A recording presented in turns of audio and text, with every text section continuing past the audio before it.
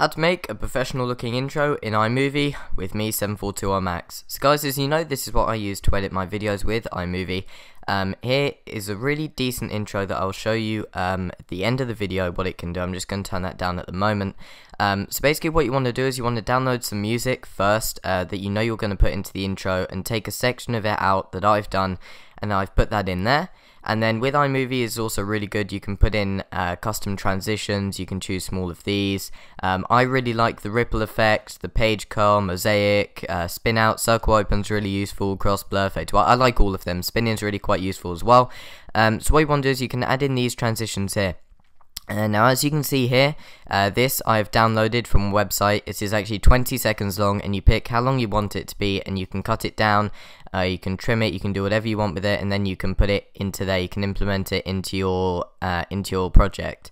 Uh, so what you want to do, guys, is you want to go onto Google or Safari or whatever, and you want to type in Movie Tools, or it's movietools.info actually, or movietools.net or .com or whatever. And when you click on that, uh, you can then have a really good uh, range of different backgrounds to do.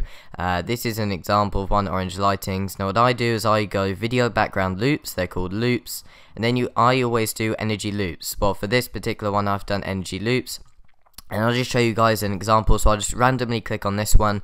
Um, they've got modern ones as well. This is from 10th November 2013 um, I'll show you which one to download in a sec but this is an example of what it can do if I just quickly play it uh, so that will play in the background this one this particular one is 10 seconds so that's an example of what to do if you like it you don't need to worry about that ignore that it's fine um, if you want to download it uh, for Mac, this is obviously for Microsoft, you can do it as well. You want to download that one. For Mac, always download this. Download QuickTime File Movie. You want to click download there. Um, and then it will go into a folder and you want to put it into movies. Uh, you want to drag it uh, click it and drag it into movies. Uh, so I'll just go off that for a sec and then once that's there uh, you then import into iMovie you can then put it there and then you implement it here. Uh, so what I'm going to do is, uh, then the main thing is you can basically see what it does. In fact, I'll just show you here. This is what this particular one that I've got is. I'm going to use this one video. I've actually got somebody making me an intro at the moment. Uh, so this is what this one sort of does. It's like a red light tunnel, really cool effects sort of thing. Um, if any of you watch Doctor Who, I certainly do not, but if any of you watch Doctor Who, it's sort of similar to that, I suppose. Um, now what you want to do is then you drag it into here, and I've done a transition here straight away.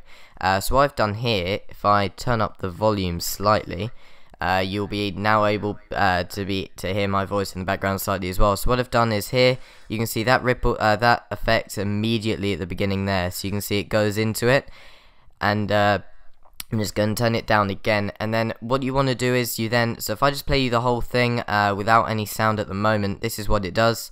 Uh, you can then see there's a ripple effect there as well, and then my name comes up there. And then I've got another effect now to for that to spin out the end, and then this opens, and then if you want a video or gameplay or whatever, you then import it and implement it there. Uh, you can also see for the music that I've got here, I don't fade it in at the moment because for this particular music I don't. Uh, but then at the end here, I fade out. Uh, it's about two seconds. It's about one and a bit seconds. You can see it. Sorry, it's, it's less than that. About half a second. You can see 7.4 to 7.7. So it's 0.3 of a second, but it makes all the difference. Trust me. Uh, so here I've got an immediate transition there. Uh, it sort of fades into it, and then I've got as the music uh, has a sort of bass drop there. I've got a ripple effect there for for like point point uh, four point five of a second or whatever it is.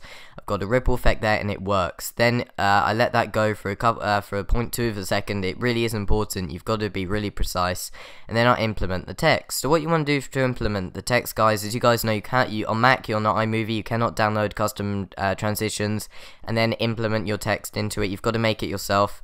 Um, so I agree. I understand that some people do it on After Effects or uh, whatever the other Mac one is, but I just use iMovie for it. Uh, so what you want to do is you want to go onto titles. You can pick whatever one you want. And you've got the bog standard one there. It just goes like that. If you guys don't want, uh, don't know what they do, you just go onto it and you can move your mouse from left to right and uh, you can see what they do. So I think for this one, what I've got is, it might even be this one, I'm not too sure. I can't quite remember, but whatever text you want, uh, you've got a few little effects ones there, so you can have like lights, Uh, you can have a lens flare, you guys would have seen that on many people's videos. You can have a background and then for it to go into there. This one's pretty cool if you're doing a tutorial, um, like a sort of movie, old Star Wars movie text there.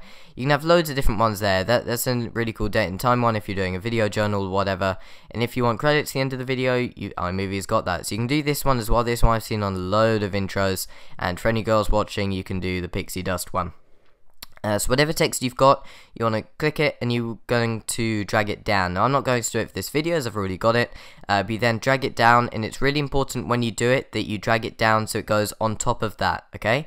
You can do it on top. You can do it on top of there, but you don't want to put it over there. You don't want to put it down there. You want to put it on top or there. Uh, now that's simply because that will then implement it into the background. Uh, so as you can see here, I put the text in here for 6.3 seconds, and then I've chosen one where there's a line that goes across, 7421 at the top, max at the bottom, and then it keeps on going, keeps on going. Little effect to the background there, uh, transition, and then you can see it fades out there and then it goes, uh, it keeps on going, keeps on going, keeps on going, and then eventually it fades out as well. Uh, so you can see there, that's the circle open or circle closed to my video. Uh, so what I'm going to do now, guys, is really simple way. Uh, this is really simple way to do it. You can just see download the custom movie there. That's what it actually looks like. It looks pretty cool. Um, and then you've got the uh, music there, and you and if you want to select which bit of the music you want, uh, you simply will go like this. Uh, say you want from that little drop there to that little drop there. Instead of putting all of the 5.5 minutes of music down there and cutting it and all that, you can just drag and select that 31.6 seconds in this case selection. Or if you just want a weeny little bit like you can get to 8.4 seconds. If you want to know what it listens like uh, you just double click on that click where you want to go and you can then play it and that will just play the music. If you want to see what this does uh, you just play it there.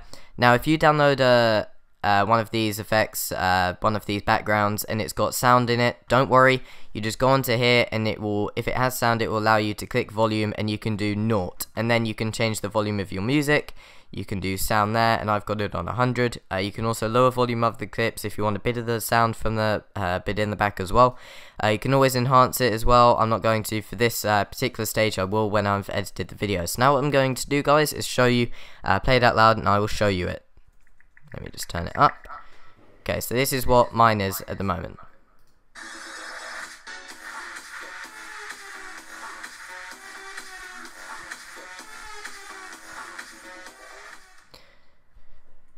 Uh, let me just turn it down. So as you guys can see, it's a pretty cool intro. Um, I would recommend not doing it more than 8 or 10 seconds at least. But anyway, if you guys found this video useful and informative, because I remember searching on Google um, and on YouTube how to create um, or how to create um, a YouTube intro in Mac. You can't really find them. Uh, if you want to implement your music, uh, you go onto iTunes, you can do other sound effects and implement GarageBand music. You can do different backgrounds there as well. You can do all of this. Look, guys, you can even do a curtain to open it. You can do stars, you can do gradient. Look, you can have stars in the background as well, and you can have something uh, dragging in. You can do the crop, uh, crop tool for that. But for me, I just found this really cool background. There are loads of them to choose from on movietools.net or movietools. They're all free.